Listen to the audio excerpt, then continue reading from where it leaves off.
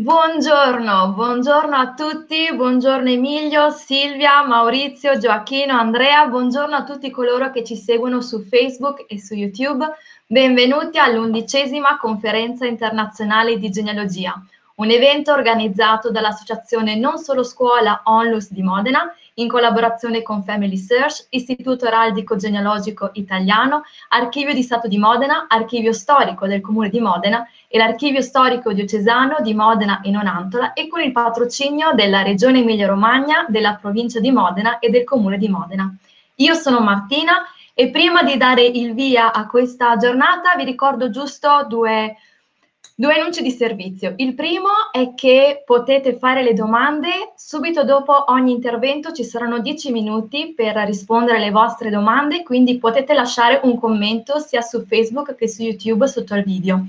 Se per qualche motivo la vostra domanda non dovesse avere risposta, semplicemente perché il tempo è limitato, potete mandarci un'email oppure qui c'è l'indirizzo, oppure iscrivervi al gruppo Facebook Mese della Genealogia e potete mandarci le vostre domande dicendoci anche a quale relatore vi state riferendo, così possiamo rispondervi. Altra cosa, vi ricordo che questa trasmissione, esattamente come le precedenti, è registrata, quindi se per qualche motivo non potete seguirci fino alla fine, non vi preoccupate, ritroverete il video sia su Facebook che su YouTube. Detto questo, buongiorno anche a Giulio, io direi di iniziare subito con il primo relatore di, di, questa mattina, quindi diamo un benvenuto e anzi io direi un bentornato a Pierfelice degli Uberti, presidente dell'Istituto Araldico Genealogico Italiano e della Confederazione Internazionale di Genealogia e Araldica. Benvenuto e bentornato Pierfelice. Grazie Martina. Eh, eccoci qua arrivati alla ultima giornata, ma un, una delle più importanti, se non addirittura la più importante, del mese della genealogia. Un evento che è atteso da tutti in ogni parte d'Italia e direi questa volta anche del mondo, perché rappresenta quanto di meglio c'è nel nostro paese per gli studi avanzati di genealogia e lasciatemi dire anche un po' di araldica. Eh, oggi viene celebrata l'undicesima conferenza internazionale, undicesima, undici anni, che una famiglia di genealogisti araldisti famosa in tutto il mondo, con il suo lavoro, dà la possibilità a tutti di scoprire le novità e le possibilità che si hanno nel fare da soli una ricerca genealogica.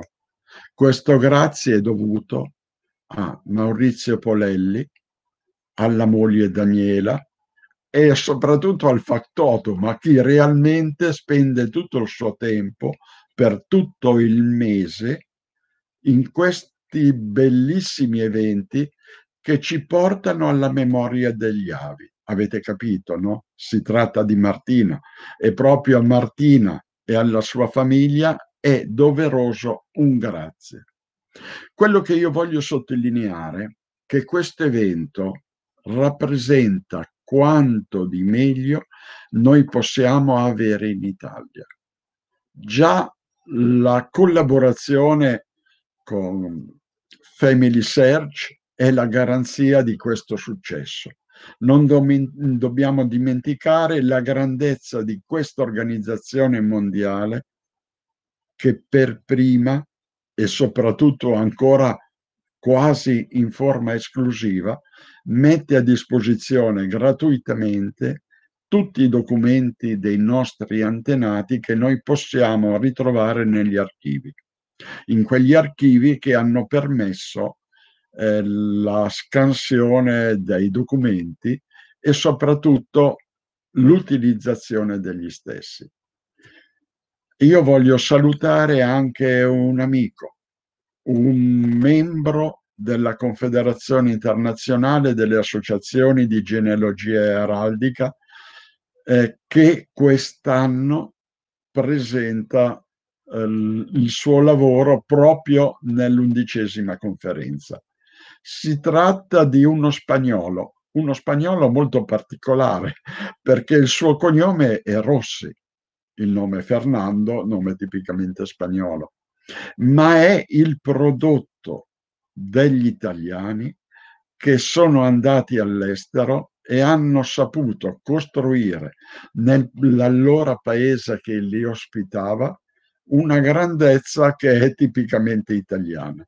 A Ferdinando Rossi che ha accettato di eh, fare la prolusione eh, riferita all'Istituto di Studi Genealogici e Araldici della Canaria, una organizzazione che lavora seriamente, organizza congressi, sta partendo con una rivista delle nostre materie e che merita almeno il nostro applauso virtuale.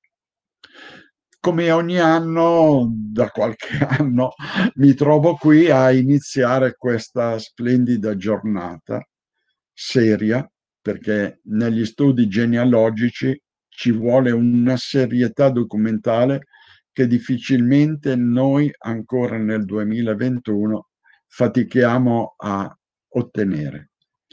Quello che vi voglio dire sono parole eh, tristi perché quest'anno, a causa della pandemia, non si sono tenuti congressi internazionali. Noi quest'anno avremmo avuto il 34 congresso internazionale di genealogia ed araldica a Madrid, purtroppo è stato rinviato ad aprile, ma vista la situazione verrà rinviato ad altra data più opportuna. Lo stesso ehm, si doveva tenere il colloquio internazionale di genealogia dell'Accademia internazionale di genealogia che se la pandemia permetterà lo potremo avere in ottobre a Messina dove sono previste, se saranno possibili, grandi manifestazioni. Detto questo, io voglio ricordarvi che dal 1970 all'inizio della rivoluzione genealogica che si è avuta in Spagna e, in Francia e dalla Francia alla Spagna in tutti gli altri paesi d'Europa e poi del mondo, e lo scenario internazionale è molto cambiato. E le persone che oggi hanno sugli 80 anni ricorderanno che la ricerca genealogica non era nient'altro per coloro che avevano una mentalità che gli permetteva la realizzazione dell'albero genealogico e della pubblicazione della loro storia di famiglia, una modesta ricerca basata unicamente su atti di stato civile, ovvero le nascite, i matrimoni e le morti delle varie persone. Oggi è impensabile parlare di genealogia in un modo così limitato. Oggi noi quando iniziamo una ricerca genealogica partiamo dalla ricerca del nostro DNA genealogico. Vogliamo sapere dove sino a 60.000 anni fa erano i nostri antenati e sebbene critichiamo moltissimo le migrazioni del presente, eh, stiamo dimenticando che noi siamo il prodotto di tante migrazioni. Dentro di noi si conservano tanti popoli, tante etnie che hanno fatto la storia del mondo. Io consiglio sempre ad una persona che si avvicina alla ricerca genealogica di partire dal proprio DNA, che è l'unica certezza che potrà possedere e che determina l'antichità della sua stirpe a un'epoca in cui la storia non era ancora scritta. Eh, il progetto del National Geographic, purtroppo non più possibile, permetteva agli studiosi del DNA genealogico di conoscere anche la percentuale di DNA di ominide che era nascosta dentro di noi. Si poteva scoprire quanto dall'1 al 4% di DNA del Neanderthal era fra noi europei come pure la percentuale di, dei denovosiani che sono gli abitanti oggi dell'isola di Pasqua e dell'Australia, sebbene siano nient'altro che dei siberiani di varie migliaia di anni prima di noi. Io dico sempre, quando noi partiamo da una ricerca genealogica, dobbiamo farci delle domande, andare alla ricerca dei nostri parenti più anziani perché ci trasmettano quanto sanno della storia della nostra famiglia. Sicuramente vi verranno raccontate delle leggende. Ancora adesso io faccio delle indagini, mi rendo conto che quando una famiglia si accinge a fare una ricerca genealogica, subito gli viene raccontata nel 60% dei casi, dieci anni fa era il 90% dei casi, che era una famiglia nobile, che aveva degli antenati illustri e che purtroppo, avendo il vizio del gioco o delle donne, aveva perso tutto. Noi ci rendiamo conto coi piedi per terra che questa è una leggenda che vuole giustificare una situazione corrente della nostra storia familiare. Ma in tutte le leggende ci sono delle verità che questa ricerca genealogica che noi ci accindiamo a fare scoprirà. Io dico sempre, eh, tutti abbiamo il diritto di conoscere la nostra storia di famiglia. La nostra storia di famiglia quell'evento più bello della nostra vita che ci permette di scoprire realmente cosa si nasconde dentro di noi. Io ricorderò sempre eh, quando ho sposato Loredana eh, il regalo che ho voluto fare eh, per il nostro matrimonio. Siamo andati alla ricerca dei suoi ari ed è stata un'esperienza entusiasmante che ancora oggi, a distanza di quasi 33 anni, ricordo con tanto affetto. Ma come noi tutti dobbiamo sapere da dove veniamo e che dentro di noi abbiamo l'importanza di essere una famiglia storica, una famiglia che è riuscita a contribuire col suo lavoro, con la sua intelligenza e con i suoi mezzi, quanto noi stiamo utilizzando nel mondo. La genealogia, la ricerca genealogica, è una delle esperienze più belle che un uomo può fare nella sua vita. Sicuramente tutti coloro che si sono accinti a questa ricerca hanno scoperto cose che mai avrebbero pensato che la loro famiglia potesse aver avuto nel passato. E molti sono prevenuti nel dire che la, non merita andare alla ricerca della storia di una famiglia normale. Io dissento da questa interpretazione, perché ricordiamoci sempre, noi abbiamo due genitori, quattro nonni, otto bisnonni, 16 trisauri e via dicendo. E fra questa miriade di persone ci sono delle vite umane che sono passate sulla terra e hanno lasciato delle tracce che noi abbiamo il dovere morale di andare a ricercare. La storia di famiglia ci permette un altro evento legato al sentimento, la ricerca della parentela. Premesso che tutti discendiamo da uno stipite comune rappresentato da donne e uomini preistorici, eh, tutte queste persone hanno lasciato nella terra una traccia che merita, come sempre, di essere conosciuta e riscoperta. Non ditemi che la vostra famiglia non è una famiglia importante, perché i vostri antenati come dovete fare anche voi, hanno fatto tutto quanto di meglio era possibile per creare questo mondo migliore che stiamo vivendo. E non ditemi neanche che fra i vostri antenati ci sono dei criminali e quindi non merita la scoperta di queste eh, storie non belle da raccontare. Anche i criminali hanno i genitori, dei nonni, dei bisnonni, quindi anche loro hanno qualcosa che è necessario che venga raccontato.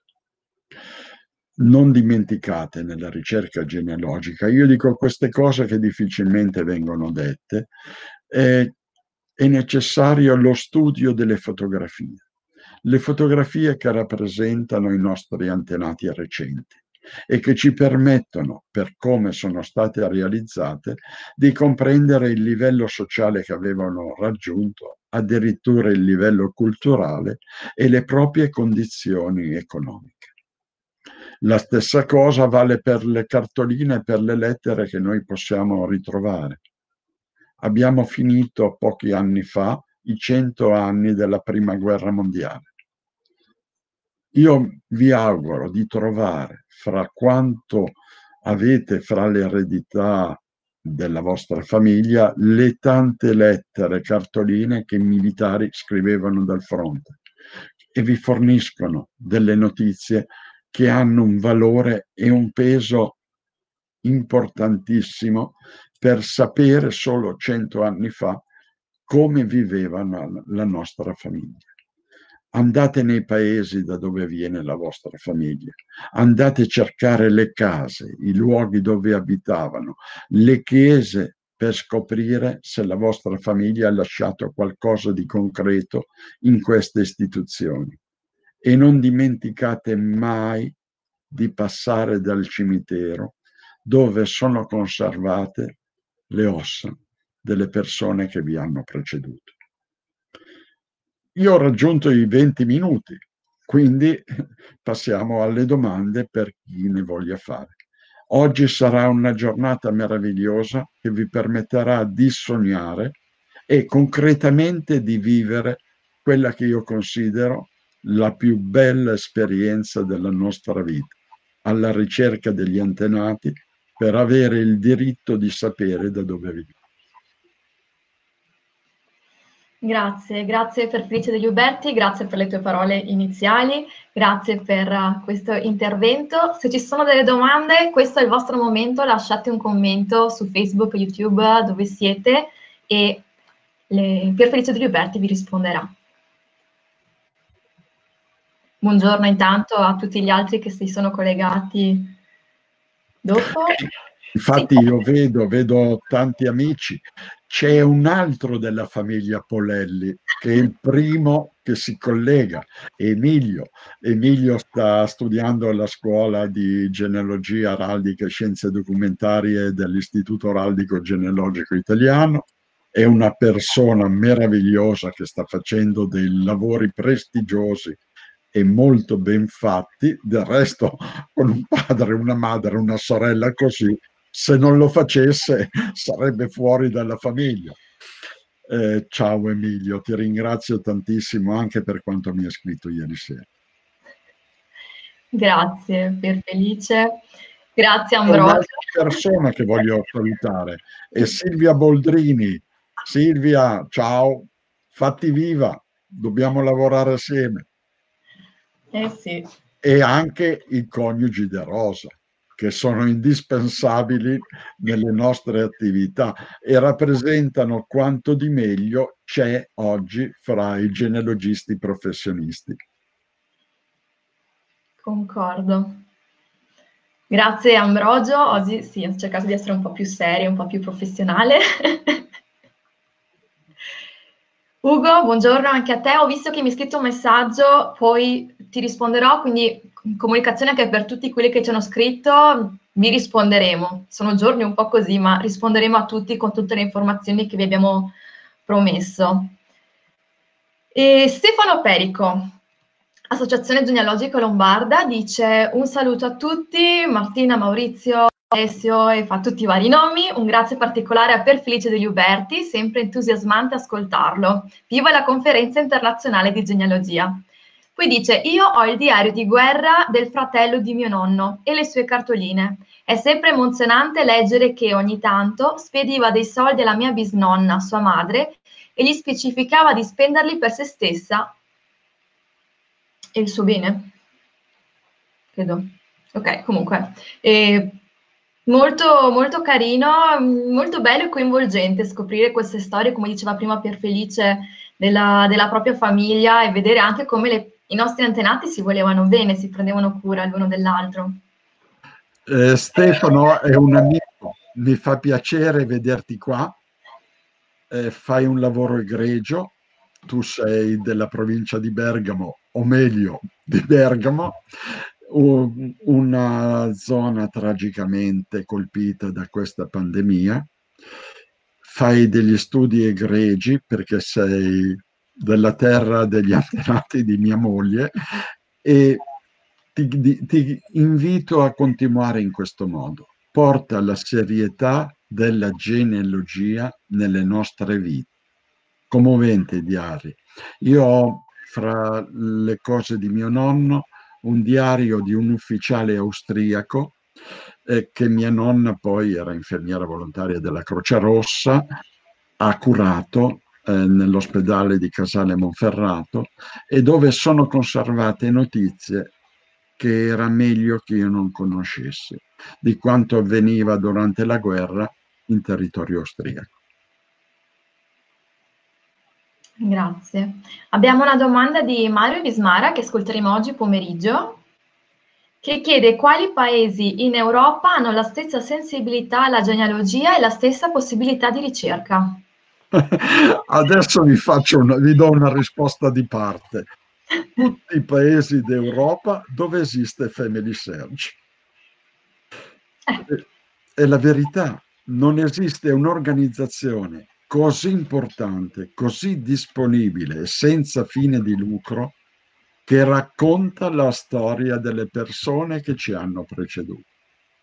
Io sono un grande sostenitore di Family Search. Io ho voluto nel consiglio di amministrazione della Confederazione Internazionale di Genealogia Araldica proprio un rappresentante di Family Search e uno dei collaboratori più validi che noi abbiamo in Italia, eh, perché bisogna anche dire la verità, eh, Daniele e Maurizio Polelli sono soci ordinari dell'Istituto Araldico Genealogico Italiano e Maurizio è anche socio dell'Accademia Internazionale di Genealogia, che è il massimo organismo scientifico di questi studi. E non solo, fa parte dell'Istituto Internazionale delle, di Araldica e Genealogia di Madrid, che è il più antico istituto del mondo.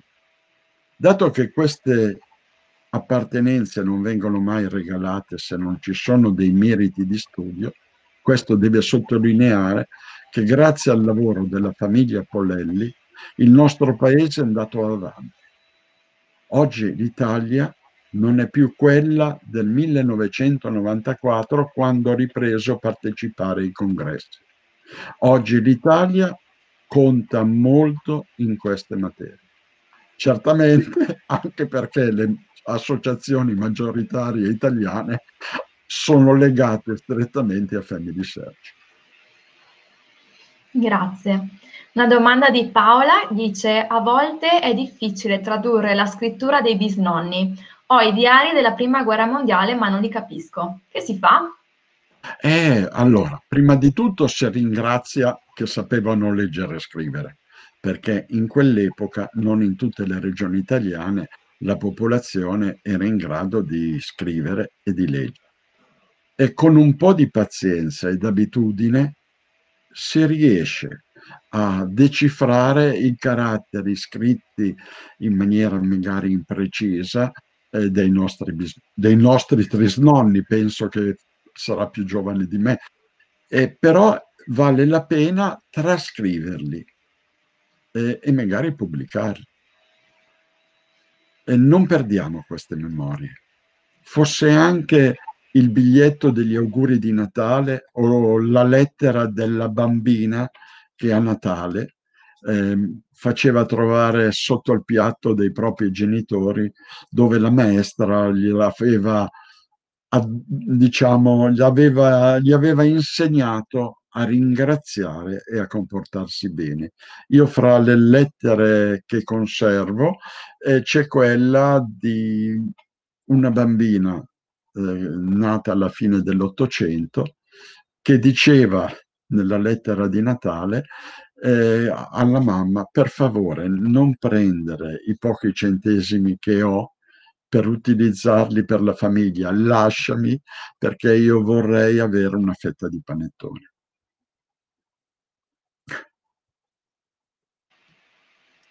Paola, mi dicono anche dalla regia che se ci contatti, se ci mandi un messaggio o un'email, possiamo aiutarti. Quindi scrivici. Saluterei a questo punto però anche Giorgio che non ha una domanda ma dice che eh, ci segue per la prima volta da Ragusa e è entusiasta, quindi benvenuto Giorgio. Abbiamo un commento di Mauro che dice grazie per Felice delle sue parole, una spinta motivazionale di grande entità per ricercare i nostri antenati, ovvero di coloro che attraverso il tempo ci hanno permesso di vivere e a cui dobbiamo tutto. Vero, belle parole. Giulio, anche lui Associazione Genealogica Lombarda, dice il suo rammarico è un rammarico perché gli piacerebbe che i parroci si rendessero conto che i loro archivi andrebbero salvaguardati digitalizzandoli, indicizzandoli per non perdere la storia che racchiudono. Hai perfettamente ragione, ma almeno ringraziamo che sono stati conservati dove sono stati conservati. Io sto temendo moltissimo per la fine degli archivi parrocchiali di quelle parrocchie che sono state soppresse e che non sono stati consegnati agli archivi diocesani. Ce ne sono molti. Si cancella la storia di tante famiglie e questo non è giusto. Ci rimane un minuto quindi riusciamo a rispondere ad Ambrogio, a Mario e Paola diciamo di mandarci un'email o di scrivere nel gruppo Facebook. Dice Ambrogio, nella foto del matrimonio dei miei prozii materni sono presenti anche i miei bisnonni, mio nonno e tutti i suoi fratelli e sorelle che hanno distribuito la famiglia dal borgo nel mondo. Sarebbe bello analizzare con attenzione gli abiti militari di due dei prozii presenti per capire di più di quel periodo storico. A chi rivolgersi per un'analisi approfondita della foto? Hai un bellissimo cognome, Lombardo, tipicamente lombardo. Pirola è bellissimo. Sì. A questo punto io ringrazio per Felice degli Uberti, presidente dell'Istituto Araldico Genealogico Italiano e della Confederazione Internazionale di Genealogia e Araldica, per essere stato qui con noi oggi. Grazie per Felice, ti nascondo Grazie a voi tutti per queste bellissime parole e soprattutto per avermi dato questa grande possibilità di partecipare al più grande evento d'Italia. Grazie. E dei futuri, eh.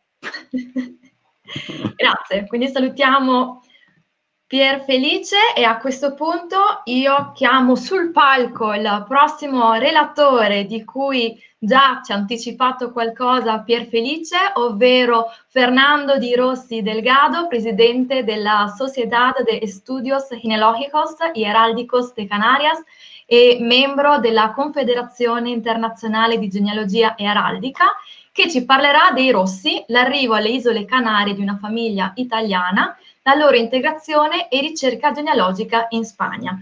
Benvenuto Fernando, bienvenido. Siccome lui parla spagnolo, io chiamo anche il traduttore che adesso è qui, ma poi lo nasconderò e intanto lo ringraziamo, Virginio Battista di Family Search che tradurrà in italiano. Quindi io mi nascondo, nascondo eh, Virginio e lascio la parola a Fernando. Buenos días, buongiorno. Eh, mi tolgo gli occhiali, la Tano perdona per almeno a, a, me. Prima di iniziare vorrei ringraziare il Presidente Pier Felice degli Uberti per l'invito a partecipare alla conferenza, conferenza internazionale della sua genealogia. allo stesso tempo mi congratulo con gli organizzatori, organizzatori eh, del mese della genealogia e ovviamente con l'ospite Martina, il cui cognome mi sfugge, mi sembra Parelli, per le parole eh, di, di che hanno reso le cose molto più facili per tutti noi.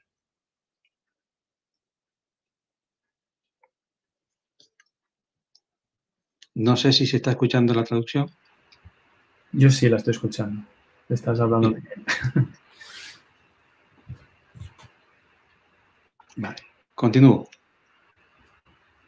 Eh, nella mia testa, nella mia immaginazione parlo un italiano magnifico, ma la verità è che ni buono ni cattivo non lo parlo. Circa eh, 150 anni dall'arrivo delle, eh, nelle terre spagnole, quasi tutti i membri della famiglia hanno perso qual, quella conoscenza. Per fortuna avrò la mia voce in italiano, grazie Virginio Battista. Ah, Fernando, Dime. Bueno, es que no te estoy traduciendo porque estás hablando en italiano y lo estás haciendo muy bien. Siento Ah, y, claro. creo, y creo que lo estás haciendo muy bien. Eh, Devo a partir del siguiente párrafo ya, ya eh, eh, entras tu. Rappresento un gruppo di, di ricercatori determinati a svelare la storia familiare degli abitanti di queste isole, delle isole delle Canarie, raggruppati nella Società di Studi Genealogici e Eraldiche delle Isole Canarie. Proprio quest'anno abbiamo celebrato anche noi l'undicesima edizione della conferenza sulla genealogia delle Isole Canarie e continuiamo eh, nel futuro. Comincio poi mie- le mie parole.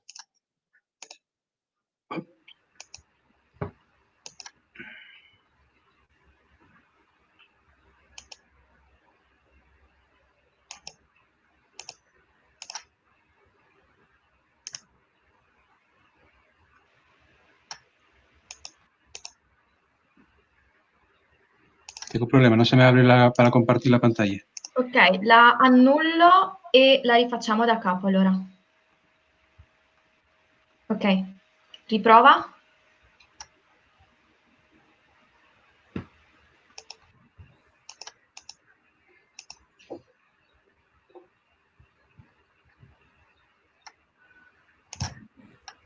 Ah, le has dado al botón de arriba, en el lateral. Eccola. Sí. Allora sì, comincio poi.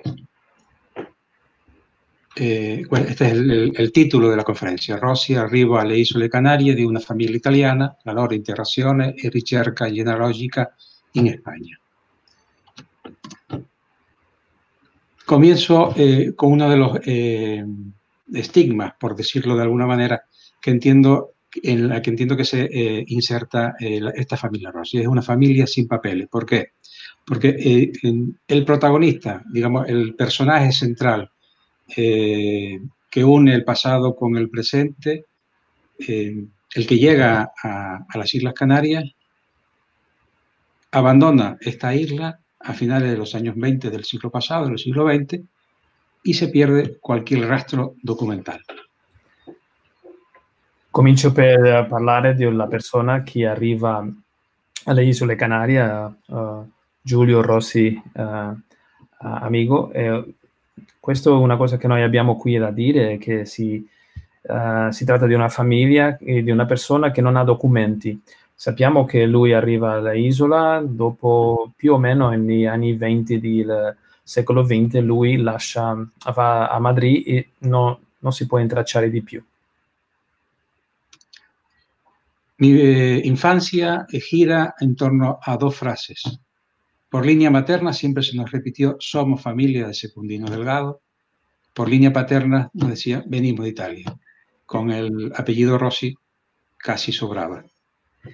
La- il mio tempo di bambino eh, gira intorno di queste due frasi. Per la linea materna siamo famiglia di Secondino Delgado e per la linea paterna è una cosa che diciamo tutti ve- venimmo dall'Italia perché abbiamo, bueno, si sa perché abbiamo questo cognome, Rossi. Para dejar la cuestión de la línea materna, aclaro que Secundino Delgado es un personaje de eh, relevancia política inmerso en, la, mm, eh, en el contexto internacional de final del siglo XIX de mm, rebelión de algunos territorios eh, en la rebelión el, el, proceso de independencia de Cuba y el eh, deseo de un proceso también di indipendenza delle Islas Canarias. Devo dire che eh, per quello che diciamo nostra famiglia, che, si, che veniamo di Secondino Delgado, è perché lui è stato un personaggio uh, famoso, politico, uh, alla fine del secolo XIX, perché era coinvolto nell'indipendenza di Cuba e anche quello che era un movimento per cercare lo stesso per le isole Canarie. A nadie se le escape que en cualquier proceso de investigación debemos eh, adentrarnos eh, para su búsqueda en el, en el, sector eclesiástico, en la búsqueda de las parroquias, en los archivos históricos diocesanos, en el aspecto civil, en los registros civiles o en cualquier otro eh, archivo de las administraciones públicas, y en la colaboración de otros investigadores, y en este caso traigo aquí al nombre del piemontés Giovanni Fonio. Ma cominciamo a fare una procedura, un processo di ricerca e per questo si comincia, come sempre si fa, eh, per cercare nei registri, documenti eh, della Chiesa, in parrocchie, eh, archivi storico, diocesani e anche quello registri civili e altri archivi che ci sono lì. E devo uh, fare adesso um, parlare di un collaboratore piemontese che Giovanni Fonio. Traigo aquí el, la partida sacramental del nacimiento del que, es mi abuelo, del que fue mi abuelo, Julio Rossi Agudo, porque de él extraemos eh, datos que nos permiten eh, continuar nuestra búsqueda. Sabemos por el registro que eh, su padre eh, nace en, Granada, Carlos Julio Rossi y amigo nace en Granada, que su madre, María del Carmen eh, Agudo, amigo, perdón, y Gallardo, nace en Cádiz. Podemos deducir, aunque sea un poco aventurado, que esta pareja eh, contrae matrimonio en, en Cádiz. Quindi vi presento, cominciamo a vedere l'atto di nascita del mio nonno, uh, chi si può, ver- può, vedere qui che il suo papà era nato a Granada e che sua, la sua mamma era nata a Cadiz. Quindi eh, questo è già un'informazione che noi possiamo avere e forse si può pensare che uh, questa coppia uh, diventa un matrimonio anche a Cádiz, en Spagna. Correcto. Efectivamente, puestos en contacto con el archivo parroquial de San Lorenzo Mártir en Cádiz, encontramos el expediente matrimonial de Carlos Julio de la Santísima Trinidad, amigo, y María del Carmen Agudo y Gallardo. E infatti quando, siamo, uh, uh, quando abbiamo contattato l'archivio uh, parrocchiale di San Lorenzo Martire a Cadiz, abbiamo trovato tutto quel processo di matrimonio di Carlos Julio della Santissima Trinità Rossi Amico e Maria del Carmen Agudo e questi sono i documenti che erano lì. Efectivamente, se trata de un, expediente, un documento muy rico en otros eh, documentos como certificados de nacimiento, certificados eh, de defunción de los padres de los contrayentes. Eh, eh vemos que Josefa además fallece en 1889, la madre de, de, Julio, víctima de una epidemia de cólera que hubo en aquel entonces. Y encontramos también el certificado de defunción de Julio Rossi Ferraroli, que cariñosamente yo eh, titulo como el italiano.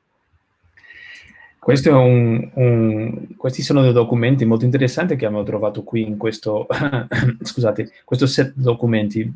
Abbiamo trovato un certificato, un'ata di matrimonio, uh, abbiamo trovato anche uh, l'ata di nascita di due della coppia, abbiamo trovato anche un'ata di, di funzione di um, Josef, Josefa Amigo y Prado, che è la mamma del, del um, di, papà bueno, di questa persona che ha avuto un problema di colera mh, eh, a 1889 e anche l'ata di funzione di Julio Rossi Ferraroli a cui io con molto carino ho chiamato Le Italiano.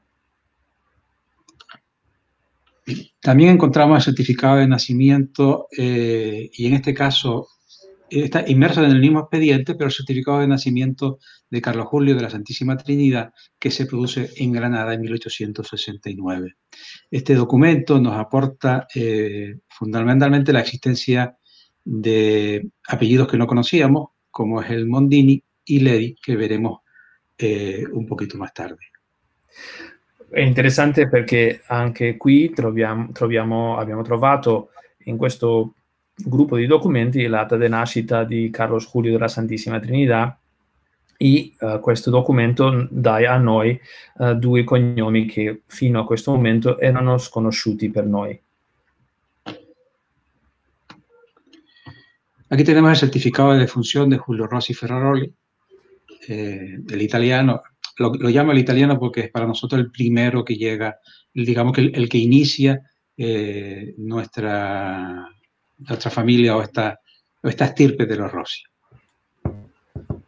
Qui abbiamo il, l'ata di, di funzione di Julio Rossi Ferraroli, a chi io ho chiamato l'italiano perché lui è, uh, diciamo, quello uh, personaggio, quella persona che dà inizio a questa linea uh, italiana della mia famiglia. Este documento nos dice que eh, Julio Rossi Ferraroli estaba embarcado en, en, trabajaba para la compañía eh, atlántica, embarcado en un vapor denominado La Habana que hacía el recorrido entre La Habana y San Sebastián en España. Questo documento dice a noi che questa persona lavorava in un barco che uh, uh, faceva un, un, percorso da San Sebastián a La Habana in Cuba, uh, San Sebastián a la España. Y para nosotros es importante porque por primera vez nos dice cuál es el lugar de nacimiento de esta persona que inicia nuestra estirpe. E, e questo, scusa. E questo diventa molto importante per noi perché è il primo punto che noi abbiamo di informazione che dice dove lui era uh, il suo punto di partita, ossia dove lui era nato.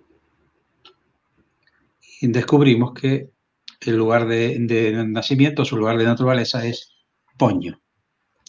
E abbiamo scoperto quindi che lui veniva di Pogno in Italia.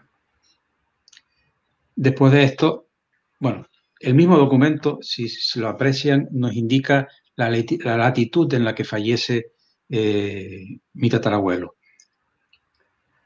In questo documento si può vedere anche il punto di latitudine quando lui era morto, è così preciso. Y haciendo uso de la tecnología moderna nos dice que en ese punto indicado del mapa fue eh, donde, es donde reposan los restos de Julio Rossi Ferraroli e facendo, usando la tecnologia che adesso noi abbiamo disponibile eh, per tutti, si può vedere dove era il punto preciso dove lui era morto secondo il capitano del, del barco. La pregunta al descubrir que su lugar de, de nacimiento era Poño es saber si Poño existe. La, el certificado, sì. La domanda che noi facciamo è dopo di scoprire che c'è un posto che si chiama Pogno, se questo posto esiste davvero. Il proprio certificato di bautismo di Julio Rossi Agudo, eh, que es su nieto, nos indica eh, que era natural de Novara, en Italia. Bien, nos cierra un poquito el lugar de búsqueda. Il data di nascita di Julio Rossi Agudo ah, indica anche che il suo nonno, Julio Rossi Ferrarolli, uh, veniva di uh, Novara, Italia, e questo riduce un po' uh, la, l'ambito geográfico per fare la ricerca.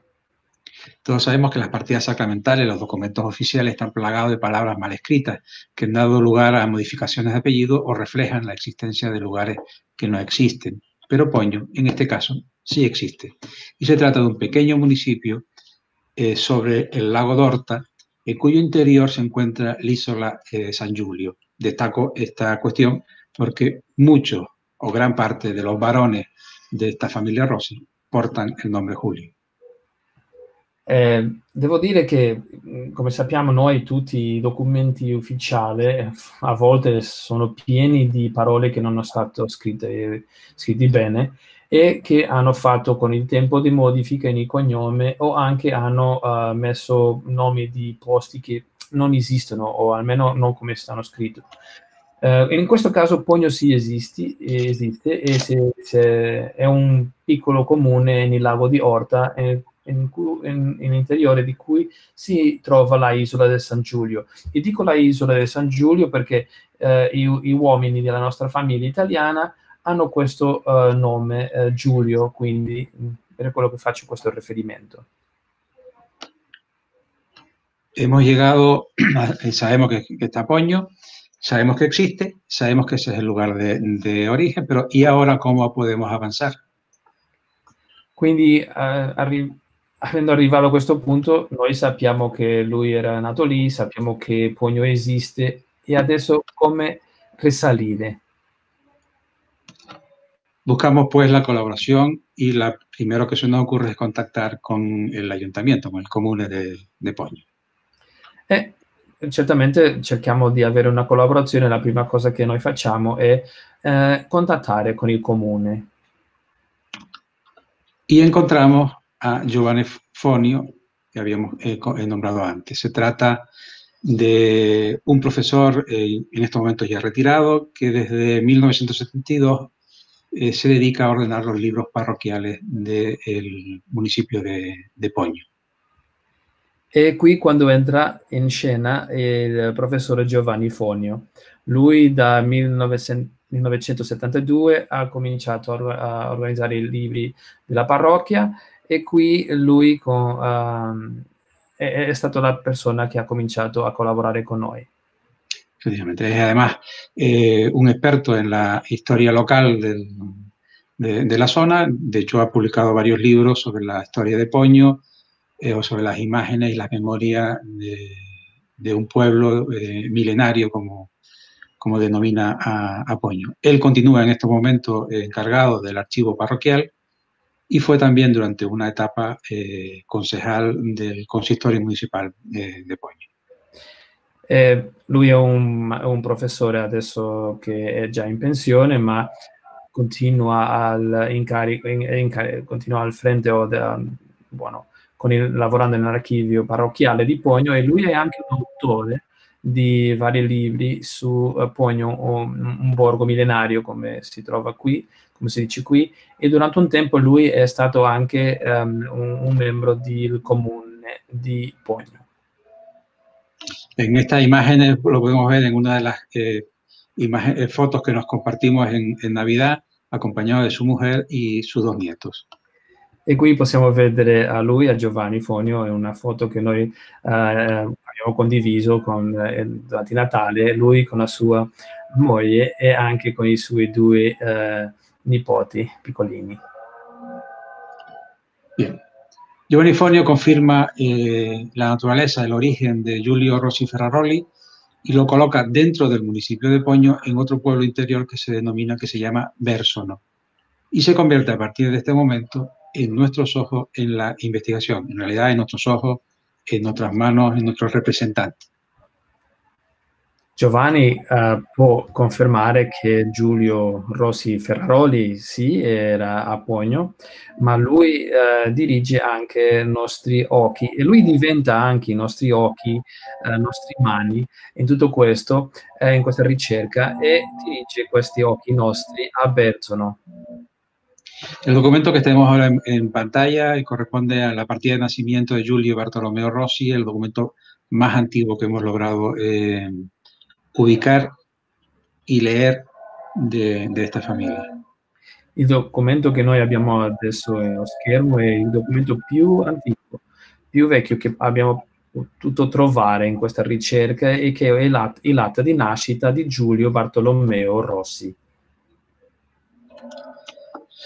Giovanni Foni, decíamos, confirma la naturaleza de Julio, lo coloca en Poño en Bersono, eh, y aunque no es exactamente objeto de esta intervención establecer una energía eh, rigurosa de esta familia Rossi, sí me parece interesante eh, indicar desde el comienzo del siglo XVII hasta la actualidad, la línea directa que llega hasta mí queda como sigue. non è il punto qui di fare una, un, un, una storia di tutto quello in dettaglio, ma eh, quello che abbiamo trovato è che di, dal secolo XVII fino ad adesso la linea diretta della mia famiglia e di queste persone che vengono in Italia è così come si può vedere nello schermo. Bien, comienza, comienza, comienza en, Julio Rossi con Margarita, no tenemos más datos, son solo que los referencia en la partida de su hijo Julio Bartolomeo. Este se casa con Cecilia Fiorentini, primer apellido distinto a Rossi con el eh, que relacionamos. Su hijo Giovanni Battista, eh, no Baptista, es Batista, eh, casa con Ana María Pafoni, nuevo apellido. Julio eh, verán que en las 11 generaciones aparece Giulio casi constantemente. ¿no? Eh, Rossi con Rovari, eh, Pietro Prospero con María Magdalena Mondini, eh, Giovanni Rossi o Carlo Giovanni Rossi con Isabella Ferraroli Levi, Giulio Giuseppe Rossi Ferraroli, que es el, que yo denomino en italiano, que casa ya en, en Granada con María Josefa Amigo y Prado, y ya llegamos a su hijo Carlos Rossi de la Santissima Trinità che casa con il Carmen Agudo Gallardo. Possiamo vedere qui come, se, come, si trova tutti quali passi. Le prime due documento di suo figlio Giulio Bartolomeo Rossi e l'ho messo come numero uno. Dopo questa persona Giulio si eh, ha sposato con Cecilia Costanza Fiorentini, um, uh, loro hanno avuto Giovanni Battista Rossi, uh, che è sposato con Anna Maria Paloni e dopo arrivano qui anche come vediamo sempre il nome Giulio è qui presente. E dopo c'è uno che è Pietro Prospero che è il figlio di loro e che è sposato con Maria Maddalena Mondini dopo Carlo Giovanni con Elisabetta Ferroli e arriviamo, arriviamo, a quello che chiamo io, con molto carino, eh, il, l'italiano, che è Giulio Giuseppe Rossi Ferraroli, che è sposato con Maria Josefa Amigo di Prado, la Spagna, e dopo quelle linee che abbiamo parlato fino alla mia, eh, che sono qui con la mia famiglia. En este punto, referido a Carlos Julio de la Santísima Trinidad, eh, comento, aunque no, no, tiene por qué estar eh, realmente relacionado, pero es posible que sí, que en verso, ¿no? en Poño, existe un altar dedicado a la Santísima Trinidad. Eh, no, recuerdo, no, recuerdo, ahora si es del siglo XV o XVI, pero existe eh, un altar dedicado al, a la Santísima Trinidad. Y casualmente, eh, este miembro de la familia Rossi y alguno más lleva junto al dos nombres el, eh, digamos, la, il qualificativo della Santissima Trinità. Trovo interessante da riferire che dopo di aver visto questo, questa persona qui, il numero 8 che ha quel nome, Carlos Julio della Santissima Trinità, uh, questo è una cosa che c'è anche a Berzono, con, uh, che è dedicato alla Santissima Trinità. Uh, Trinità è quello interessante perché non so se sia una coincidenza, no, no, non siamo sicuri, ma è una cosa che, ven, che viene riferita in vari nomi di eh, queste persone della nostra famiglia. Bene. Y continuamos después Julio Rossi Agudo, que es mi, mi abuelo casa eh, con Rosario Sala. Continúa eh, mi padre, que casa con el Carmen eh, Delgado. Y aquí ya aparezco yo, eh, Fernando Rossi Delgado, que caso con eh, María Belén González Rodríguez eh, miembro de una familia eh, catalana de origen andaluz. Y a la última generación, mi hijo Benearo y mi hija Gara. Aquí se produce claramente esa inversión, digamos, de, de, cultura. Benearo y Gara son nombres aborígenes. Benearo es el nombre de un antiguo rey de esta isla de Tenerife, Mensei, y Gara de una antigua princesa de la isla de La Gomera. E devo riferire che arriviamo ai nostri, eh, dopo di a, avere parlato di quelle persone eh, che eh, abbiamo visto prima, ci siamo noi, Julio Rossi Agudo, Giu, uh, Julio Rossi Salas e dopo eh, io, Fernando Rossi, la mia moglie, Maria Belen González. Lei, ehm, lei eh, viene di Andalusia, la, Andalusia, la Spagna, ma di una famiglia che è della Catalan- di Catalogna quindi, o di Catalogna. Quindi adesso noi abbiamo due bambini che hanno nomi che sono vernacoli di qui delle isole. Benearo è stato un regge qui alla isola e Gara è anche un nome che è molto di, delle isole Canarie.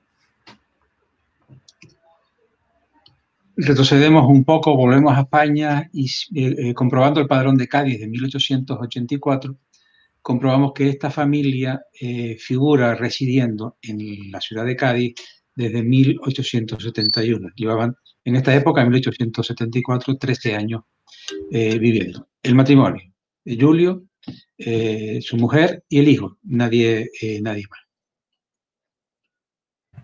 Scusate, ho, ho, ricevuto una chiamata e ho, ho dovuto togliere, ma insistono, scusatemi, cosa di, che è connesso con il, con il computer e, e suona. Eh, ma come diceva prima um, Fernando, qui eh, eh, questo porta noi indietro alla Spagna e qui c'è um, l'informazione di quello che vivono a Cadiz dal 1884 e possiamo vedere che questa famiglia Rossi uh, erano di Granada, come si vede qui. Pero, eh, es que me interrumpo el teléfono, per, perdón. No. Eh, María Josefa en particular era natural de Fontevaqueros. Todos recordamos Fontevaqueros como lugar de nacimiento del poeta Federico García Lorca. E possiamo vedere che una cosa interessante è che eh, Maria Josefa, eh, lei eh, è nata a Fuente Vaqueros, per quelli di noi che siamo mh, forse conosciamo questo, questo, villaggio, è il villaggio dove era nato o è nato Federico García Lorca. Nos estábamos acercando ya a las Islas Canarias y recuperamos el expediente de, matrimonio de Carlos eh, Julio Rossi, eh, amigo, y comprobamos que hay un certificado mmm, firmado también por un segundo de a bordo, un capitán, diciendo que era parte de la tripulación con la función de cocinero de eh, un vapor, el vapor llamado América, que hacía el recorrido de correos entre Cádiz y Canarias. Quindi in questo viaggio di ritorno alla Spagna vediamo qui eh, questo documento che dice a noi che queste due eh, lavoravano per un negozio di, mh, di trasporti di, di, barco. Quindi eh, questo è il documento che fa a, a noi sapere chi erano loro in questo tempo. Ya nos vamos hacia, hacia Canarias. Hemos llegado en cuatro años. Entre 1887 fallece eh, Julio Rossi Ferraroli, fallece eh, José Famigó, se casa eh, Carlos Julio con su mujer María del Carmen Agudo y él, en abril de 1891 nace el primer Rossi en Canarias, que es mi abuelo, Julio Rossi Agudo. Quindi eh, ritracciamo questo viaggio. Eh, la famiglia era alla Spagna, eh, ma ehm, in, in uh, continentale. Adesso il viaggio va alle isole Canarie e in quattro anni succede questo. A 1887 è morto Giulio Rossi Ferraroli e dopo eh, 89 eh, José Famigo e Prado. Dopo si sposano questi due e eh, Carlos Julio e Maria del Carmen e dopo il primo che è nato alle isole Canarie eh, è il mio nonno a 1891 che uh, è nato a Santa Cruz de Santiago en Tenerife. Bien, vamos a centrarnos en, digamos, en, en, la evolución de Carlos Julio Rossi Amigó, que es el que llegó con su mujer, y eh, habíamos visto en el certificado de la compañía naviera que su eh, profesión era cocinero. Y esta es la que aplica desde el punto de vista empresarial en Tenerife al crear una casa de comida, probablemente no, se digo, no lo digo con, con, absoluta certeza, una de las primeras eh, primeros establecimientos che sirve comida a domicilio. E già qui eh, il matrimonio di Carlos Julio eh, e Carmen Agudo cominciano a, la sua etapa professionale, si può dire così, e uh, aprono una, un ristorante, diciamo, e, e forse il proprio uh, il primo uh, negozio che uh, porta di cose di mangiare alla casa di tutti, quindi erano già, diciamo, originali. Si vemos la, la foto, eh, está situado en, esto es la, lo que conocemos aquí como Plaza del Príncipe, Plaza del Príncipe de Asturias, es una zona muy céntrica de la ciudad de Santa Cruz. Justo e... enfrente de las estatuas estaba situado el establecimiento. Ok, e, e, questa foto dice a noi dove si trovava questo negozio, questa trattoria, eh, che era molto centrica, molto centrale alla città di Santa Cruz, si trova nella piazza del Principe di Asturias, quindi quello era do, da, davanti alle statue della piazza e dove si trovava la trattoria. Bien. Les pongo delante un plano de la entrada de la ciudad eh, de Santa Cruz de Tenerife. En realidad se llama Santa Cruz de Santiago de Tenerife, porque eh, al poco tiempo de llegar a, a, la ciudad se trasladan a la calle Cruz Verde, esta que está, no sé si se ve el cursor.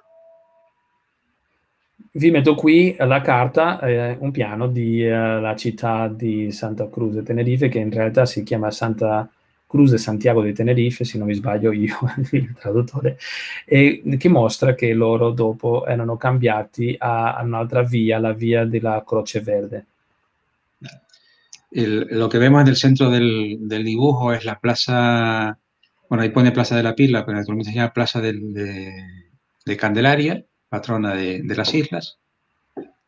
Qui al centro si vede la piazza della Pila, ma in verità si chiama Piazza La Candelaria, la patrona delle isole Canarie.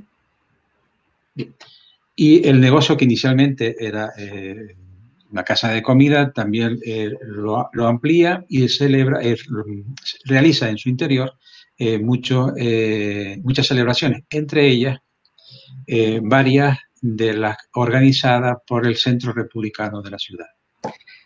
E la trattoria che una volta cambiata qui, eh, loro fanno delle modifiche, il, il, negozio diventa più grande e anche un centro dove si celebrano eventi e anche eventi del uh, gruppo repubblicano delle isole, ad esempio. Bien. Eh, no se quedan solo con ese establecimiento, sino que eh, a la derecha de la adquieren otro, otro café che si chiama 3 de Mayo e ampliano su, su negocio. Loro non hanno solamente questa trattoria o negozio, eh, lo uh, aumentano e uh, hanno acquisto dopo un caffè in, alla destra della carta che ho il piano che era lì in, en lo schermo. Un poco más adelante, en 1910, se, se amplían su, eh, su negocio comprando un hotel en otra isla, en la isla de Gran Canaria, el Hotel Inglaterra. E dopo loro continuano a fare di negozi di affari e eh, comprano, hanno acquistato anche nel 1910 un hotel, eh, un, ma non qui, sino in un'altra isola, la, in Gran Canaria. En 1912 hubo un intento de, de, de mudar definitivamente la, la, familia a Gran Canaria, però non si realizzò del todo. Al, all'anno 1912 c'è un, un, intento della famiglia di fare un trasloco alla isola di Gran Canaria, ma dopo non diventa realtà. Esta es una imagen de la eh, eh, calle Triana en la, en la, isla de Gran Canaria, en, la, en, en Las Palmas. En realidad este es un viaje de ida y vuelta. Questa è un'immagine di la, una via, la via de Triana, a, a, alla città de Las Palmas, nella Gran Canaria, dove loro, uh, loro, erano, ma in realtà questo era un viaggio, un, ritor- un ritorno a, a, Santa Cruz de Tenerife. Bien. Eh, un elemento que, comprueba, que viene a demostrar también que en 1912 no se, no se asientan en Las Palmas es que en ese año adquieren un hotel, otro hotel en Santa Cruz de Tenerife, el Hotel Central, también conocido como Hotel Rossi o, eh, Hotel Nisa. E dopo, con questo ritorno a Santa Croce di Tenerife, loro aprono un nuovo hotel, il Centrale Rossi o Nisa. El, más adelante, en 1921, parece, hay noticias de que también, eh, de nuevo, intentan trasladar toda la familia eh, a Las Palmas de Gran Canaria, pero E dopo, a 1901, secondo il giornale che si vede qui, c'è un, un intento anche di fare un altro viaggio di ritorno a Las Palmas. Però... La realtà è che nel 1923 eh, eh, Carlos Julio eh, Rossi Amigo, aparece formando parte della nuova Junta Municipal dell'Ayuntamiento di Santa Cruz de Tenerife. Ma la verità e la realtà è che invece a 1923 uh, Giulio, uh, questo Giulio della nostra storia qui, diventa un membro dello comune della città di Santa Cruz de Tenerife.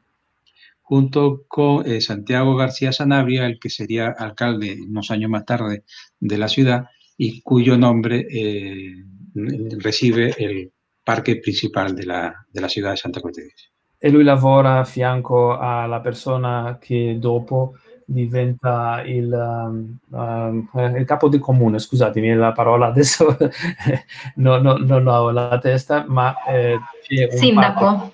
Sindaco. Il sindaco, era quello, non cercavo, diventa il sindaco della città e dopo la città avrà un parco, un giardino che è dedicato a lui e porta il suo nome. Lo cierto es que a finales de los años 20 del siglo pasado, del siglo XX, Carlos Julio Rossi Amigo abandona Canarias definitivamente, instalándose en Madrid junto a los hijos eh, Rosalina, Carmen, Leticia, Carlos y Hernani, donde muere en 1945, según el diario ABC, como un caballero español. No tenemos constancia de que Carlos Julio eh, hubiera renunciado nunca a la doble nacionalidad. La verità è che dopo di questo eh, noi sappiamo che alla fine dell'anno 20, Carlos Julio Rossi Amigo eh, lascia le isole Canarie per andare definitivamente a Madrid con i suoi figli e dove lui, secondo il giornale eh, ABC, eh, è morto come un vero, come un cavaliere spagnolo e noi non abbiamo trovato nessun documento dove lui ha rinunciato alla sua uh, doppia nazionalità. Eh, destaco que en, la, el, en, el, recorrido vital de este personaje ha pasado por Granada, por Cádiz, por Santa Cruz de Tenerife, por Las Palmas de Gran Canaria y por Madrid. E devo rimarcare qui che questa persona ha fatto un percorso vitale per Granada, per um, eh, Granada e anche Cádiz Cadiz, uh, dopo le isole, eh, con Tenerife, con Gran Canaria e dopo fine qui a Madrid. Finisce qui a Madrid. Entre su llegada a Canarias y su marcha a Madrid tuvo tiempo además de constituir una, una familia con eh, 11 hijos, tres de ellos murieron niños, dos llevaron el mismo nombre, Sergio Rossi y eh, Argelina, que también murió niña. El primero de todos, Julio Rossi Agudo, es mi abuelo y se queda en Tenerife, formando la familia eh, Rossi Delgado. Eh, María Josefa Rossi Agus eh, muda a, la, a, Las Palmas, se casa con un empresario uh, de Gran Canaria y eh, allí tiene su, familia. Y luego Rosalina, eh, María del Carmen, Margarita, Leticia, Carlos y Hernani, que es el único hijo de esta familia nacido en Las Palmas, eh, se marchan todos y constituyen su familia en Madrid. Ok, eh, è interessante da vedere che fra eh, il tempo che lui arriva a Canarie e dopo che parte a Madrid, lui ha avuto il tempo di fare una famiglia di 11 eh, figli.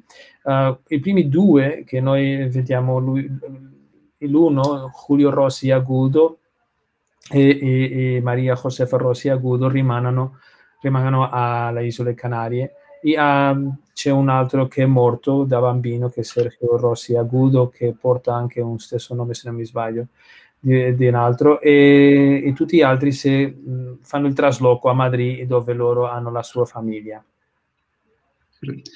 Esto, el, los maridos con los que se casaron las, las hijas de, de, Carlos Julio pues fueron eh, eh, comerciantes de Las Palmas, fueron militares, médicos, abogados. Le, le, i mariti di quelle ragazze che sono sposate con, con, le, con loro erano persone che lavoravano, che erano medici, eh, eh, avvocati, no? Uh, sí, e, abogado. Ok.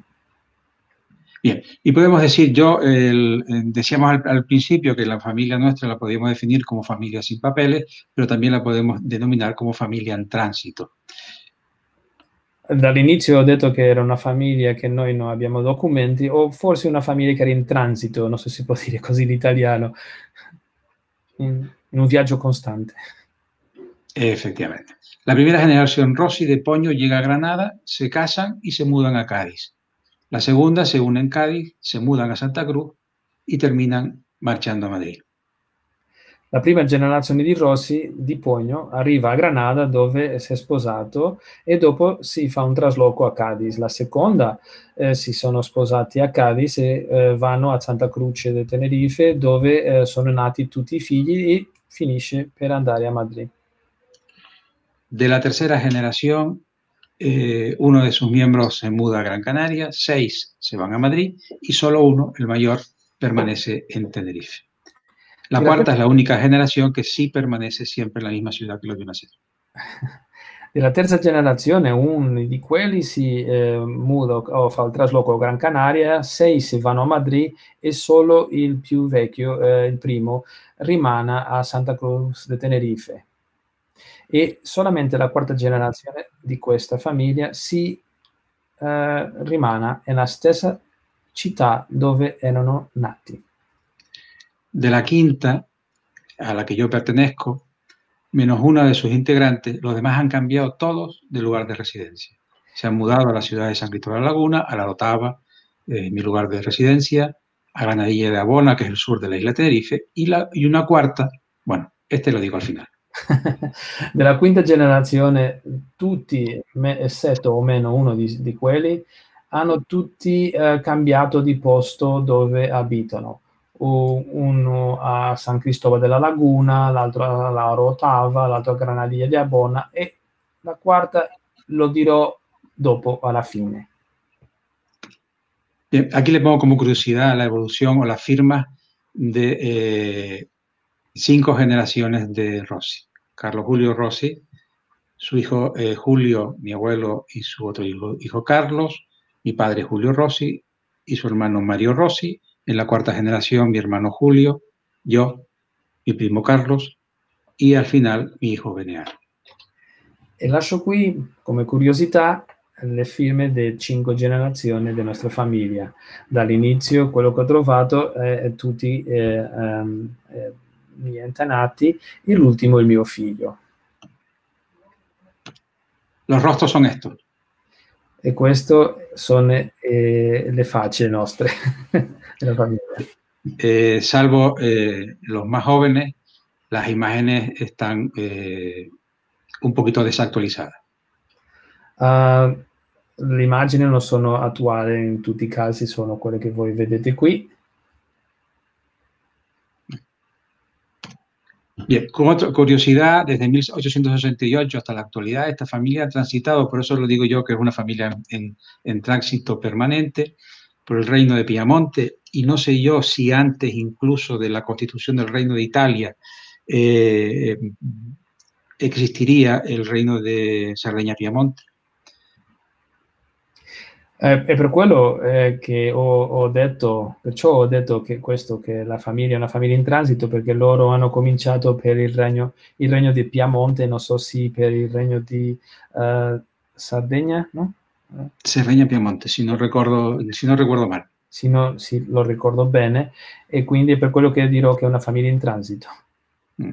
Ha passato per due repubblicas, por eh, un régimen salido de la, una guerra civil, por la actual monarquía, y en cuanto a, a municipios, a, a, ciudades, desde Poño, Granada, Cádiz, Santa Cruz, Las Palmas, Madrid. Quindi hanno vissuto, uh, hanno due repubbliche, hanno dopo di una guerra civile, hanno visto anche come arrivava un governo che è uscito di quel, di quel uh, confronto e hanno arrivato a una monarchia e dopo in quello che eh, si rifiere o riguarda eh, le città, si può vedere qui come hanno transitato da Pogno, da Granada, da Cadiz, a Tenerife, Las Palmas e finalmente a Madrid.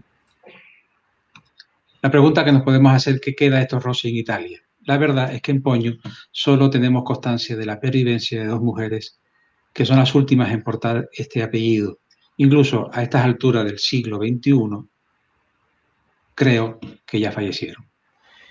E la domanda che si può quando arriviamo a questo punto è che succede quanti sono questi rossi in Italia di questa famiglia. Uh, da quello che ho visto a Pogno, solo uh, abbiamo trovato uh, esempio di che sopravvivono due donne che hanno questo cognome, ma in questo momento forse sono già, non sono già con noi. Pues bien, la familia Rossi ha regresado a Italia por línea femenina, formando la unión de María Rossi. Eh, mi hermana Cristina, eh, después de finalizar sus estudios de Bellas Artes, realiza un curso de posgrado en Turín y no ha regresado más. Ma la verità è che questa famiglia ritorna all'Italia per una linea fem- femmina, se si volete dire così, che la mia sorella che dopo di fare uh, un, un, corso di uh, uh, postgrado a, a, Torino ha scelto di rimanere lì e quindi abbiamo ritornato all'Italia. Y allí tiene su familia, tres de mis sobrinos eh, han nacido allí y esta eh, ciudad de, de, Turín, hermosa donde las, donde las haya, está aproximadamente solo a 150 km del lugar de donde venimos. E curiosamente lei rimane lì con suoi tre figli a, a Torino, una bella città dove la più bella di, forse di tutte le città che ci sono, una città bellissima, ma vicina, tan solamente così uh, vicina al punto di noi abbiamo uscito, questa famiglia è uscita pure 150 km solo fra uh, Torino e la città uh, o il villaggio di Pogno. Estos son, eh, la foto es un poco antigua porque es muy difícil poder reunirlos a todos juntos eh, por razones de, de residencia y de, y de, trabajo. Esta es la, la última generación eh, Rossi, la que corresponde a, a, a, los descendientes, a los nietos de, de mi padre, y son por orden de aparición vital, les he puesto el numerito, Benearo, Gara, Lucia, Maria, Francesco e Luigi.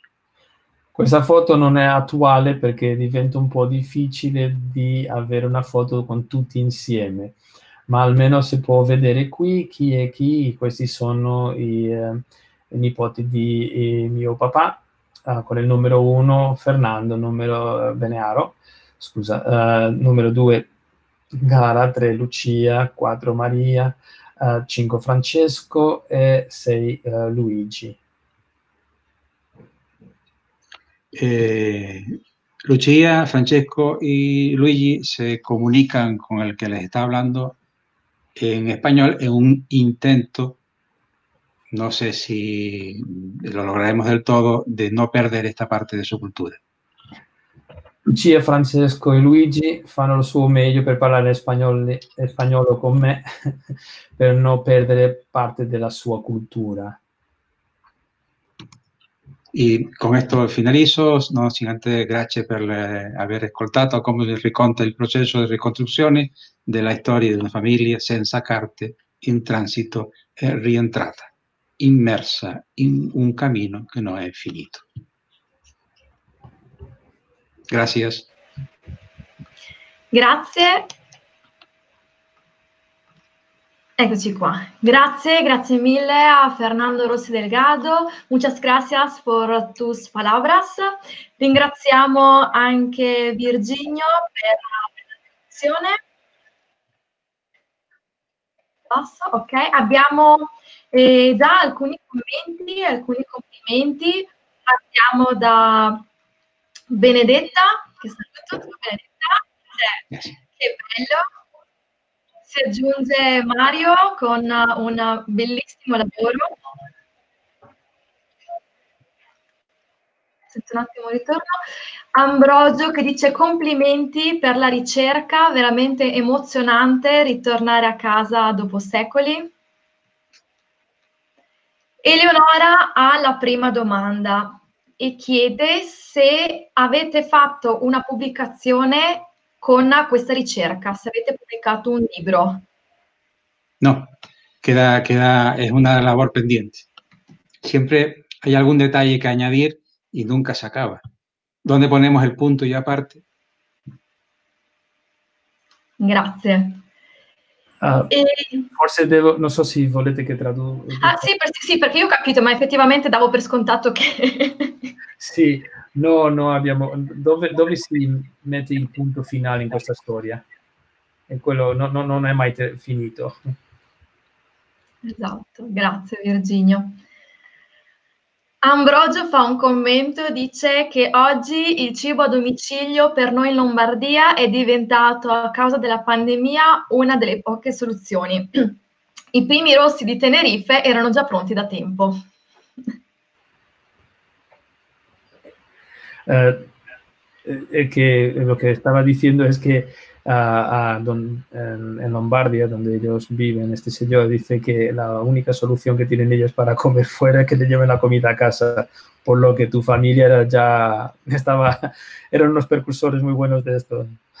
Sí, a mí me sorprendió cuando lo, cuando lo descubrí. Final del siglo XIX, eh, un negocio que yo entendía que era una forma moderna de, de, de venta de productos alimenticios y ya existía. Sì, è una cosa curiosa che ho trovato che alla fine del secolo XIX c'era eh, una cosa che noi prendiamo come moderna, era già lì con quella famiglia. Bellissimo. Tanti altri complimenti, quanti spunti interessanti, bellissimo viaggio nella storia, ringraziamenti.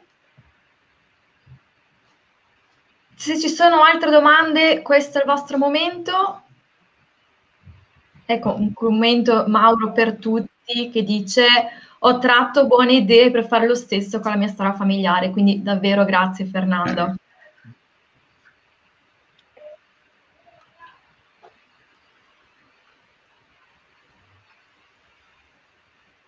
Se non ci sono altre domande, allora io ringrazio nuovamente Fernando Rossi Delgado per essere stato con noi Oggi, se vi vengono in mente altre domande, mandatecele per email o su Facebook e noi le gireremo. Puede, puedes poner mis datos a disposición, cualquier consulta o cualquier cosa que, que nos haga falta, nos ponemos a disposición. Muchas gracias. Ringraziamo Virginio per essere stato la voce italiana con l'accento spagnolo per questa. Sì. Grazie e con lui ci rivediamo più tardi. A questo punto io saluto Fernando, lo nascondo, nascondo anche Virginio e diamo il benvenuto al prossimo relatore che ci parlerà di, intanto lo carico, a peste, fame et bello, libera nos domine. Lasciamo la parola a Vincenzo Alfano, benvenuto, ricercatore e socio dell'Istituto Araldico Genealogico Italiano. Ciao Vincenzo. Ciao Martina, un tema allegro per risollevare un po' lo spirito. Beh, siamo in tema con il, quello che accade intorno a noi. Eh, ma, ma, non è a caso, non è a caso. Eh, Martina, ho di nuovo anch'io un problema di eh, share screen. Te lo annullo perché probabilmente l'hai fatto okay. mentre c'era ancora il suo schermo condiviso, adesso puoi riprovare.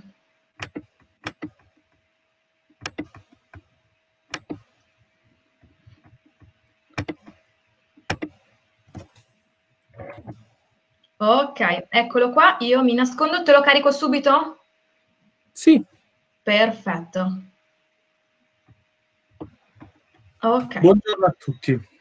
Io sono Vincenzo e è la terza volta, se non sbaglio, ma ho grossi problemi a mettere in fila le cose nel tempo, nonostante sia appassionato di genealogia, che ho la grande opportunità e l'immenso piacere di essere al, come relatore al mese della genealogia di Modena.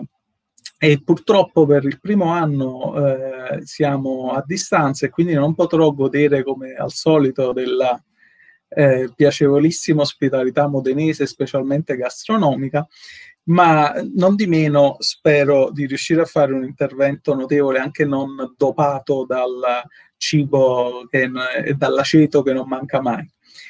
Eh, quest'anno vi presento un lavoro che abbiamo Uh, appena pubblicato con Manuela Sgobbi, che è la mia coautrice in questo lavoro e che ha fatto eh, gran parte del lavoro d'archivio, eh, la totalità sostanzialmente del lavoro d'archivio su eh, questo paper che abbiamo pubblicato insieme a quattro mani, e sperando di potervi raccontare una storia. Ma Andiamo avanti e non rubiamo troppo tempo. Questo è un breve indice di quello che andremo a vedere e iniziamo subito. Siamo tutti in pandemia, siamo in pandemia ormai dall'inizio di questo anno e stiamo vivendo in prima persona eh, una serie di cose di cui avevamo solo sentito parlare. Questo può essere, eh, volendola vedere in maniera positiva, una maniera eh, per capire come i nostri antenati vivevano durante periodi che sono stati, bisogna riconoscerlo, molto più bui di questo annus horribilis che stiamo vivendo tutti quanti. E infatti, chiaramente, quello che stiamo vivendo con tutti i disagi e problemi di caso e senza voler sminuire niente, almeno per ora non è minimamente paragonabile a ciò che è avvenuto secoli fa durante altre pandemie. E nello specifico il XVII secolo è stato quello durante il quale c'è stata una delle ultime epidemie di peste, prima che la malattia scomparisse per un centinaio di anni dall'Europa. Era è più o meno ciò che era successo un migliaio di anni prima, eh, quando di nuovo la peste scomparì senza alcun motivo apparente. Perché questa presentazione? Perché in una conferenza di genealogia? Beh, io non so da quanto tempo lavorate alla vostra genealogia, ma si corre il rischio eh, spesso, soprattutto se si eh, raggiungono rami molto remoti, di trasformare la propria ricerca in una raccolta di nomi e numeri che non ha eh, più eh, molto senso. A me, piace, a me, piace, parlare di storia di famiglia e di nuova scienza genealogica, no? che è il paradigma che Pardo de Guevara Valdes nel 92 ha pubblicato come un vero e proprio manifesto in cui eh, oltre chiaramente a scoprire l'identità dei nostri antenati, matrimoni e quant'altro, cerchiamo di mettere un po' di carne su questo scheletro che è il nostro albero genealogico, cercando di capire eh, le storie della famiglia eh, a cui apparteniamo, quindi quello che hanno loro vissuto in prima linea. È chiaro che questo è molto difficile da fare per periodi eh, ben remoti e ci viene in aiuto uno strumento, nel mio caso eh, per deformazione professionale, che è l'analisi statistica, e ci può aiutare a capire che cosa era successo, almeno in termini di morte, all'epoca e, e quindi quali erano i profili di rischio maggiori e le motivazioni che portavano a una morte da parte di peste. Ci concentreremo sugli anni tra il 29 e il 31, quando la città di Chioggia fu flagellata da un'epidemia di peste. Il nostro obiettivo, con l'utilizzo ancora una volta di dati squisitamente genealogici, è fare luce a ciò che è successo in una pandemia che sicuramente nostri antenati hanno vissuto. Chiaramente eh, il massimo è se avete degli antenati di Chioggia perché potete far più tesoro di questa presentazione, ma c'è anche da dire che le storie e i meccanismi sono probabilmente simili e, e dubito che siate così fortunati da non aver avuto nella vostra storia familiare nessun antenato che ha dovuto vivere una pandemia in prima persona. Eh, il caso di Chioggia è particolarmente interessante perché se la letteratura si è concentrata molto su Venezia, in realtà ben poco è stato scritto su Chioggia.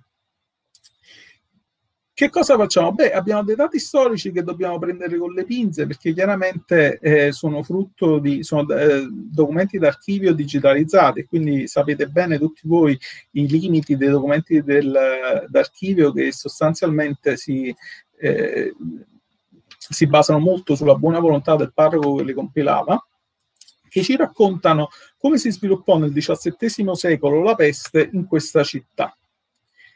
E queste stime suggeriscono che in realtà, eh, visto che era passato circa mille anni dall'ultima epidemia di peste, che è la cosiddetta giustinianea, eh, non ci fu un immediato collegamento del morbo con l'esperienza precedente da parte degli abitanti dell'epoca.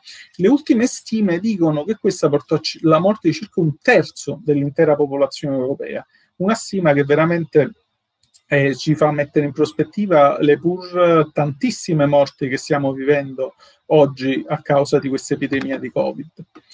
Eh, molto brevemente, pare che in realtà in Europa originariamente si manifestò a Messina il primo contatto col batterio della peste. Considerate che all'epoca chiaramente gli scambi, e l'abbiamo visto col Covid, erano molto ridotti perché viaggiare era molto più costoso e molto meno comune e quindi era molto più facile d'altra parte tracciare quando arrivò un virus da qualche parte, mentre noi ancora non abbiamo benissimo chiaro eh, come il Covid è arrivato in Italia. Ci sono dei studi eh, recenti che suggeriscono che in realtà a dicembre già circolasse a Milano e a Torino. Eh, all'epoca eh, possiamo ricostruire, da una parte abbiamo chiaramente la complicazione di ricostruire una storia che ha 600 anni, dall'altra abbiamo il vantaggio che all'epoca non si girava così tanto come oggi. La teoria mainstream predominante suggerisce che in realtà il primo impatto con l'Europa fu a Messina, forse con una nave che arrivò in quel fiorente porto che all'epoca era molto importante e molto più importante di quanto sia oggi per il commercio, dall'Africa o dall'Asia. E da lì chiaramente ebbe gioco facile a diffondersi negli altri porti italiani una volta arrivata e dai porti nelle aree interne. Chiaramente eh, questa eh, ondata che non è quella che analizziamo nei dati, eh, c'è ampia traccia di Boccaccio, no? che nel suo capolavoro descrive l'approccio dei giovani alla vita in tempi di pandemia. È molto interessante caso perché dopo un inizio concitato in cui le autorità non furono in grado di affrontare la, l'emergenza e si ritrovarono con dichiarazioni e politiche contraddittorie, che è un po' quello che abbiamo visto noi accadere in molti governi in Europa e, e, anche nel resto del mondo, il vero, all'inizio di questo impatto eh, di questa nuova ondata di malattia. In realtà in quasi tutte le azioni furono stabiliti degli uffici di sanità pubblica che si occupassero specificamente di tenere sotto controllo il morbo. Inizialmente questi uffici furono di natura temporanea, ma poi si trasformarono eh, chiaramente in istituzioni permanenti. Eh, l'impatto della peste fu specialmente duro nel sud Europa, probabilmente per le condizioni climatiche più favorevole al trasmettersi di questo batterio e forse anche per questo la Repubblica di Venezia eh, all'epoca fu una tra le migliori nazioni al mondo nel riuscire a combattere la pandemia con rimedi non farmaceutici. Abbiamo imparato a conoscere questa addizione, chiaramente i rimedi non farmaceutici sono tutte quelle politiche che mettiamo in atto per cercare di ridurre le probabilità di trasmissione e non farmaceutici perché chiaramente non stiamo parlando di una medicina che ci aiuta a evitare di essere contagiati o a ridurre i sintomi, ma stiamo parlando di rimedi come il distanziamento sociale, le quarantene, i famigerati lockdown e così via. Ora, possiamo dire chiaramente eh, con un po' di eh, eh, pronti a essere smentiti quando parliamo di una cosa eh, che risale a centinaia di anni fa, che i famosi rimedi non farmaceutici nacquero proprio in questo periodo.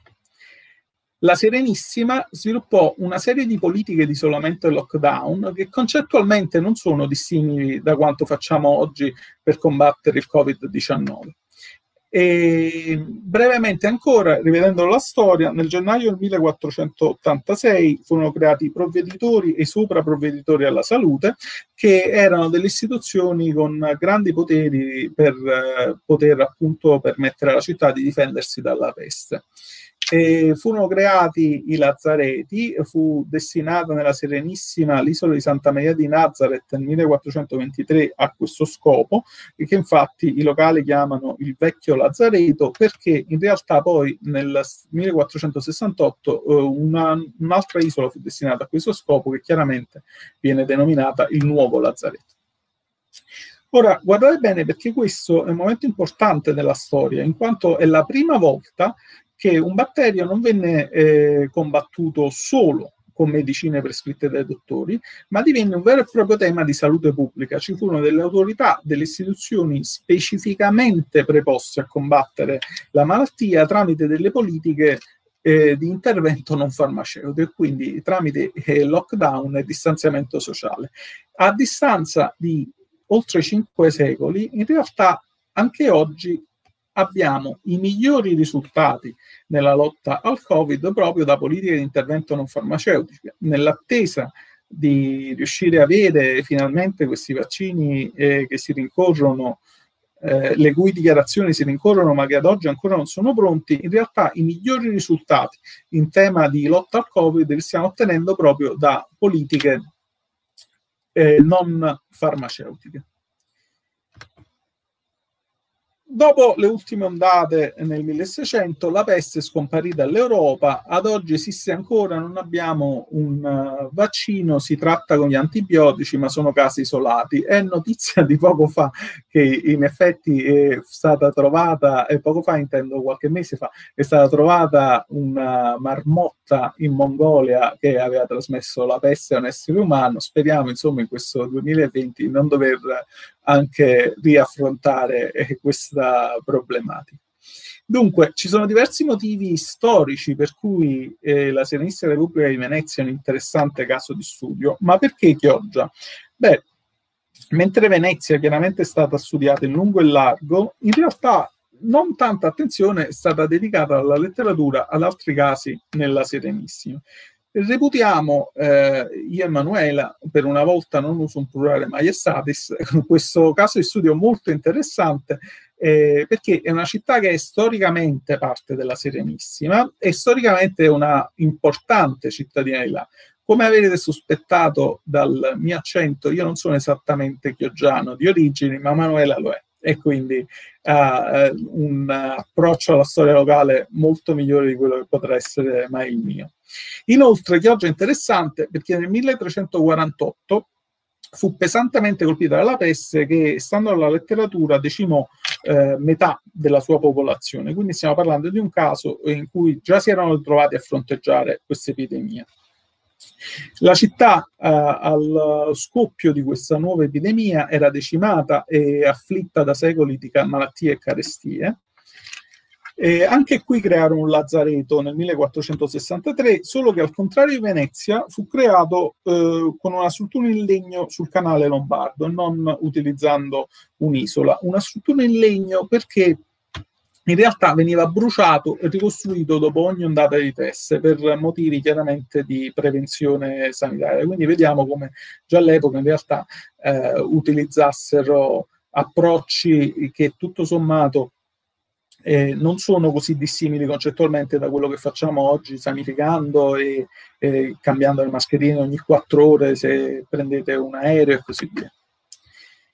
Ora, ehm, il caso di studio eh, di Chioggia è interessante anche perché, nonostante sia prossima alla terraferma, in realtà è una società che ha le tipiche caratteristiche isolane e, e le grandi famiglie che domineranno la storia di Chioggia nei secoli successivi a questa epidemia di peste in realtà erano già in città nel XVII secolo. Non è parte di questa presentazione perché è già troppo lunga eh, non volevo abusare della vostra pazienza, ma nell'articolo che ho pubblicato sul Journal of Family History eh, c'è anche un raffronto tra i cognomi più comuni trovati nel dataset creato per questo lavoro e quelli odierni di Chioggia e quindi per quanto chiaramente stiamo parlando di 500 anni e quindi è difficilissimo tracciare una dinamica continua, si può avere un'idea e fare un raffronto di che cosa è successo alle famiglie tra l'epoca ed oggi quali hanno prosperato e quali invece sono state cancellate da questa epidemia di peste.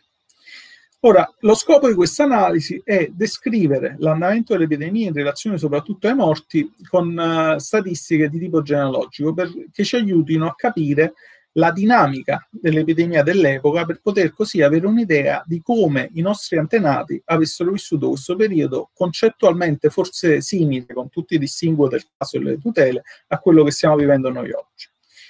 E la letteratura suggerisce che nel 1630 ci fu il picco della mortalità e noi analizzeremo dunque questo anno più il 1629 e il 1630 appunto per avere un'idea dinamica dell'andamento. Il cuore di questo articolo è un dataset digitale eh, riempito con i dati degli atti di morte di Chioggia che sono custoditi nell'archivio storico della diocesi e che sono certo molti genealogisti conoscono bene, appunto per i tre anni analizzati. Da questi dati abbiamo creato un dataset digitale che eh, riporta per ogni deceduto il nome, la data della morte, l'età, la paternità e altre informazioni che potevano essere di interesse per avere un'idea del suo ruolo nella società, uh, del suo stato civile e così via. Quindi diciamo altre informazioni che ci dissero un'idea della sua collocazione sociodemografica.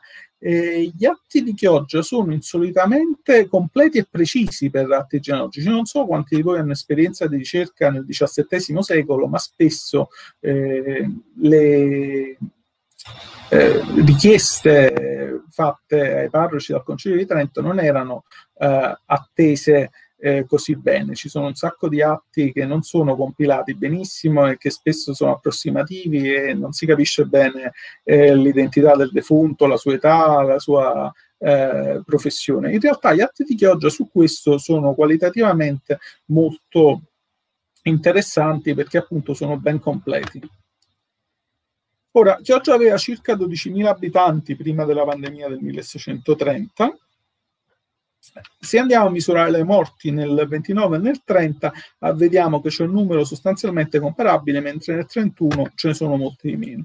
Qui abbiamo appunto un grafico che ci fa vedere come ci fossero oltre 700 morti eh, degli adulti nel 1629, circa 600 nel 30, mentre invece nel 31 scendiamo a poco più di 300 la, l'istogramma, la barra più piccola che vedete sulla destra, sono la parte dei morti riferibili a neonati, quindi quanti neonati sono morti. Come potete vedere mh, c'è un declino della morte degli adulti, mentre invece, seppur diminuiscono, i neonati diminuiscono molto più lentamente. Che cosa eh, possiamo capire da questo grafico? Beh, eh, precisamente ci sono 867 morti nel 29, 675 nel 30 e 353 nel 31, quindi il tasso di crescita è di circa il meno 20% eh, nei primi due anni e del, quasi la metà per gli ultimi due.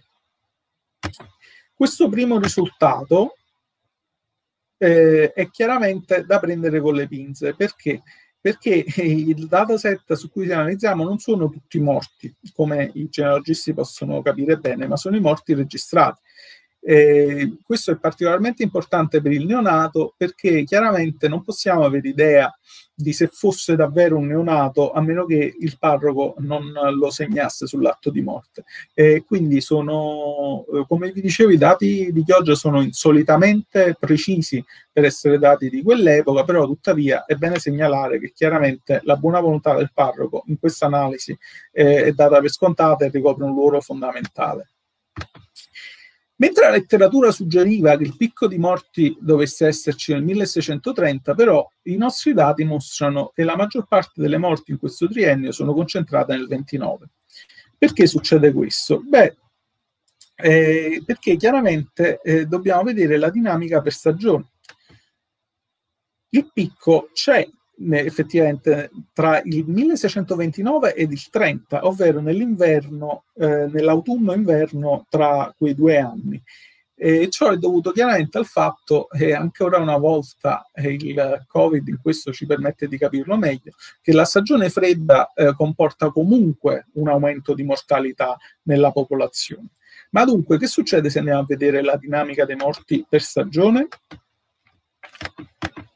Succede questo. Qui abbiamo i morti nell'autunno del 1629, 30 e 31, nella primavera, nell'estate e nell'inverno. Come potete vedere, l'autunno è la stagione in cui si moriva di più sostanzialmente in tutti gli anni, chiaramente seguita dall'inverno, mentre nelle stagioni calde abbiamo eh, meno eh, morti. Questo è esattamente quello che ci aspettavamo per via di questa dinamica eh, in cui il freddo impatta sulle eh, morti, anche se abbiamo dei risultati interessanti. Perché mentre ci potremmo aspettare per questa idea del freddo che l'inverno, la stagione più fredda, eh, sia quella in cui si riscontrano più morti, in realtà eh, i dati ci suggeriscono che la maggior parte delle morti si concentri in autunno. Eh, chiaramente nel 1631 la mortalità è più bassa in media per ogni stagione rispetto agli anni precedenti. Ora, il primo punto eh, ci suggerisce che in realtà l'autunno, che è più freddo della primavera e dell'estate, fornisce ancora più occasioni del, di contatto nel 1600 rispetto all'inverno, in cui la gente viene molto più segregata in casa e incontra molte meno persone. Occasioni di contatto significa occasioni di trasmissione del batterio, Inoltre è più probabile eh, prendere un cosiddetto colpo di freddo, essere colti di sorpresa dal freddo in autunno che d'inverno, quando invece essendo più preparati, aspettandocelo di più, probabilmente si prendevano più precauzioni. Possiamo quindi eh, con il combinato disposto di un giurista di queste due eh, ipotesi spiegarci il perché di questa maggioranza di morti in questa stagione piuttosto che in inverno. Eh, ci sono delle cause concorrenti ben analizzate dalla letteratura. Nel 1629 ci fu una eh, severa carestia nell'aurea e quindi eh, ciò ha potuto favorire il tifo petecchiale che pure insomma, stava flagellando l'aria all'epoca. Ma perché invece nel 1631 ci sono meno morti? Beh, per due motivi sostanzialmente. Da una parte, chiaramente l'epidemia era sostanzialmente passata, ma dall'altra è importante che, eh, sottolineare che noi stiamo guardando numeri assoluti quindi eh, la, è chiaro che ci fossero meno morti per il semplice fatto che nel frattempo la popolazione era diminuita tantissimo, proprio perché erano morte un sacco di persone a causa della pandemia. Quindi andando a vedere i morti in valore assoluto è normale un numero più basso.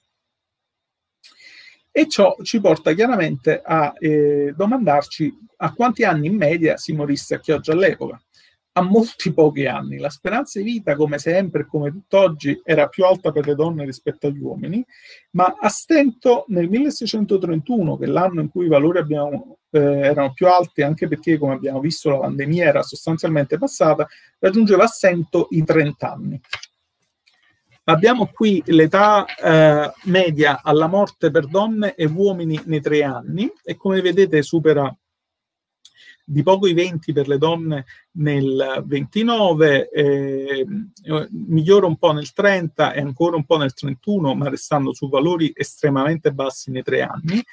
Escludendo i neonati, chiaramente eh, la di vita aumenta, escludendo la gente morta appena nata, e quindi per cause sostanzialmente collegabili al parto, ma anche in questo caso possiamo vedere come in valori assoluti sia bassissima rispetto a quella che ci aspettiamo.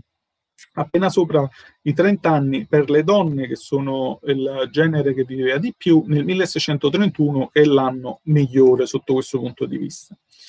Eh, il fatto che questo trend sia crescente ci, innanzitutto ci aiuta a dire che la pandemia ha avuto un impatto disastroso sull'età attesa di mor- morte. Ma paragonandole al resto della società dell'epoca, come erano questi valori di Chioggia?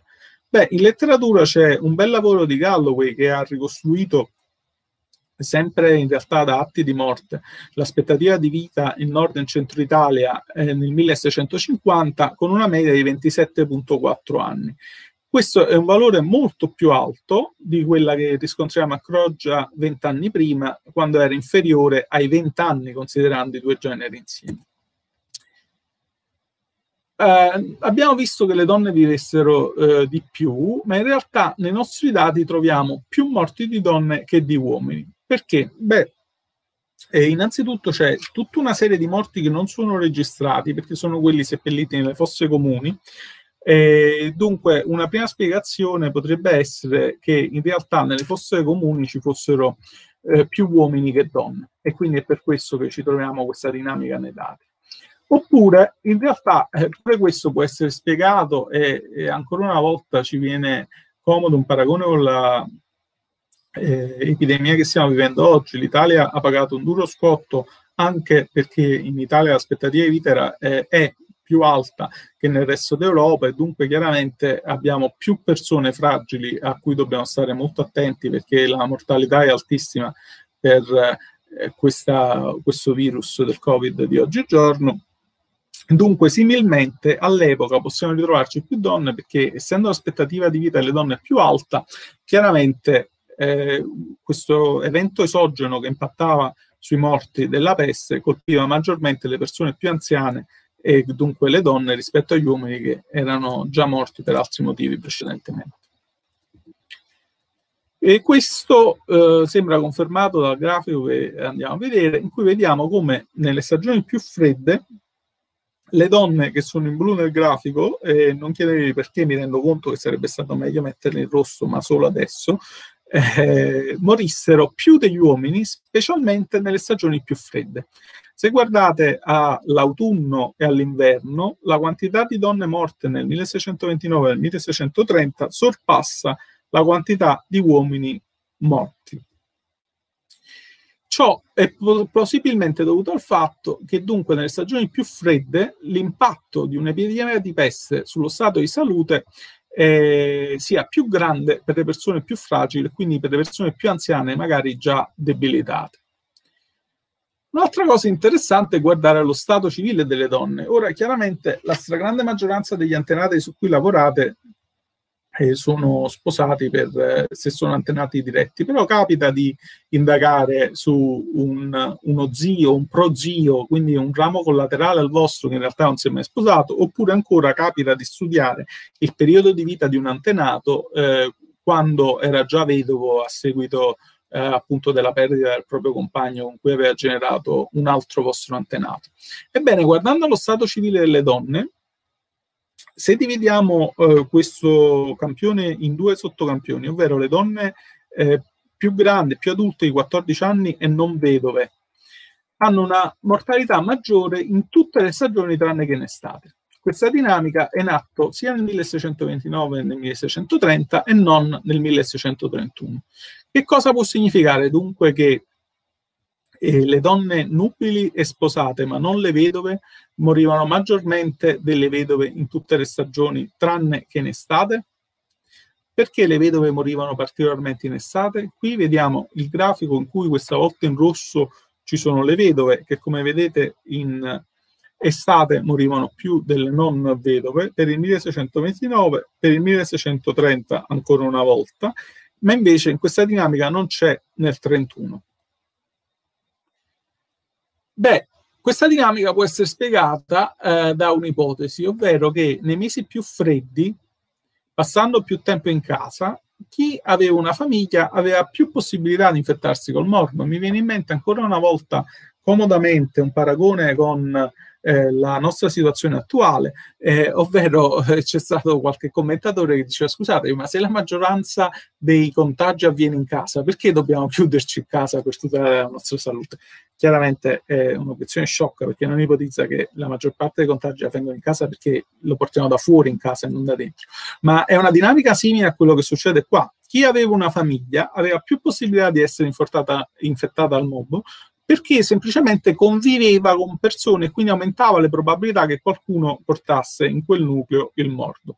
Questa differenza nelle stagioni più calde si riduceva perché anche le vedove avevano più occasioni di avere vita sociale, quindi plausibilmente avevano una vita più attiva e passavano più tempo a contatto con altre persone, riducendo il vantaggio che avevano rispetto alle non vedove in termini di probabilità di infezione. Nel 1631 non troviamo questo risultato probabilmente perché visto che la pandemia era sostanzialmente passata, le abitudini divennero più regolari, eh, livellando i due sottocampioni. Infine, eh, dai record di morte possiamo spesso conoscere anche il lavoro che svolgono i soggetti. Tra i vari dati sociodemografici abbiamo alcuni appartenenti al clero nel nostro campione, 30 persone, 20 donne e 10 uomini. È un campione estremamente ridotto e quindi possiamo dire molto poco, ma il fatto che le donne siano il doppio eh, può essere un suggerimento per ulteriori analisi su, che, sulla mortalità all'interno del clero per i sessi, che può essere chiaramente dovuto al fatto che all'epoca avessero condizioni di vita peggiori rispetto agli uomini. E chiaramente abbiamo ampia evidenza del fatto che alcune morti non ci sono, tra questi eh, per esempio eh, ci sono una serie di frati cappuccini che eh, chiaramente eh, videro eh, spandere il morbo molto facilmente all'interno della loro comunità e non ci furono funerali furono, e dunque non ci furono registrazioni personali dei morti. Abbiamo anche con un criterio simile provato a identificare gli appartenenti all'altra società tramite due strategie. Eh, una prima abbiamo considerato tutti coloro che hanno un titolo prenominale nel proprio record, e quindi Don, Dottor, Sir, Messer, Signor, Monsignor e Badessa. Ciò ci porta a identificare 10 persone, una donna e 9 uomini, e come vedete, sostanzialmente eh, anche tra queste persone la morte arrivò eh, maggiormente tra gli uomini, eh, scusatemi, anche in questo gruppo appartengono più uomini che donne, eh, nove uomini e una sola donna, e qui abbiamo un trend crescente delle morti, ci furono più morti negli anni successivi, quando la pandemia era quasi finita. Questo può suggerire che in realtà eh, avessero accesso a situazioni migliori e dunque riuscissero a restare in vita per più tempo rispetto alle persone eh, più povere o comunque meno altolocate di loro. Una seconda razionalizzazione che abbiamo svolto, abbiamo preso quelli per cui si è riunito il reverendo capitolo. Era l'autorità religiosa più rispettata nella società chioggiana e si è eh, si è riunito, scusate, per 43 diverse persone negli anni che analizziamo. E tra questi ci sono più donne che uomini solo nel 29, e, mentre gli uomini sono molti di più, specialmente nel 31. Abbiamo ancora una volta una dinamica crescente per gli uomini, mentre invece è decrescente per le donne appartenenti appunto all'altra società, secondo la logica di quelle per cui si è riunito il reverendo capitolo. Ma che cosa portiamo portare a casa alla fine di questa presentazione, che è l'unica cosa che vi trattiene dalla pausa ed è finita, quindi tiriamo il sospiro di sollievo. Essenzialmente due cose. La prima è, è, vedere in prospettiva le restrizioni e le limitazioni a cui siamo costretti. Non lamentiamoci troppo. Ci sono stati eh, periodi molto peggiori e in prospettiva siamo molto fortunati. La seconda è che eh, la storia narrata coi dati che vi ho raccontato, è stata possibile raccontarla grazie all'ausilio di dati squisitamente genealogici. E spero che non vi abbia annoiato troppo e che vi abbia dato un piccolo spaccato della vita in quei tre anni nella società pioggiana, ma soprattutto spero che vi faccia realizzare come eh, la genealogia possa dare tanto alla storia con la S maiuscola e quindi possa aiutare tanto a una migliore comprensione della nostra piccola storia di famiglia, della storia più grande e della vita di tutti i giorni. Sta a noi genealogisti capitalizzare questo potenziale ed evitare di sprecarlo ricercando origini mitologici o dando credito a leggende di famiglia. La storia si fa con i dati e la genealogia, essendo una scienza ausiliare della storia, si deve fare con i dati. Grazie per l'attenzione.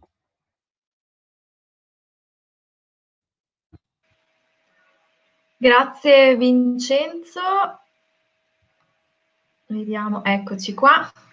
Grazie, grazie mille. Ringraziamo Vincenzo Alfano, ricercatore e socio IAGI, per uh, il tuo intervento.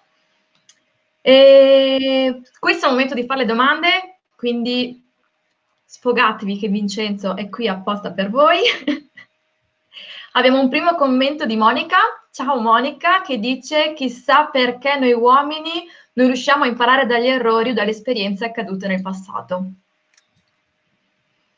Eh, eh, Monica, è difficile rispondere a questo, però potrei fare molti soldi se riuscissi a trovare una risposta a questa domanda, quindi ti ringrazio per lo stimolo.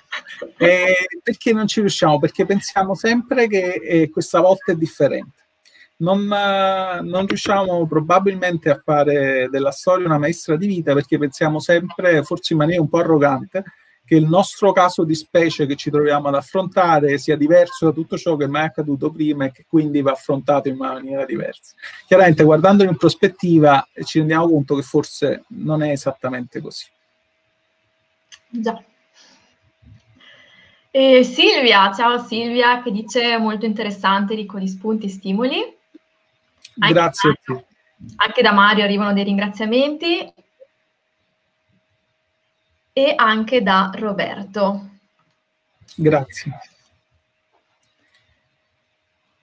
Quindi se ci sono domande vi lascio altri tre secondi per scrivere, altrimenti vi ricordo che potete contattarci e noi gireremo le vostre domande a Vincenzo. Se non c'è nient'altro, io allora ringrazio tutti quanti, ringrazio Vincenzo per essere stato con noi questa mattina, ringrazio chi si è collegato Grazie Daniela, ecco, possiamo concludere con questo commento. Allora, visto che Daniela ha sempre partecipato anche gli anni passati a Modena. Grazie Daniela. Noi allora ci andiamo in pausa, ci ritroviamo alle ore 14 con Stefania Fangarezzi, genealogista, che ci parlerà del censimento di Toscana del 1841. Quindi buona pausa a tutti, grazie ancora a Vincenzo e a più tardi.